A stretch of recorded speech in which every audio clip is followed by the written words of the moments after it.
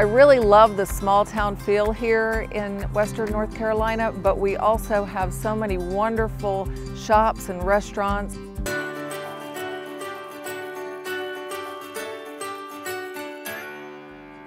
My name is Nicki Klinar and I'm a realtor with Beverly Hanks. One of the things I like most about being a realtor is helping people find their dream home here in the mountains. I love working for Beverly Hanks because of their strong commitment to service and integrity, qualities that I feel very strongly about myself. I'm a people person and whether I'm working with one or several, I make each client feel like they are my top priority.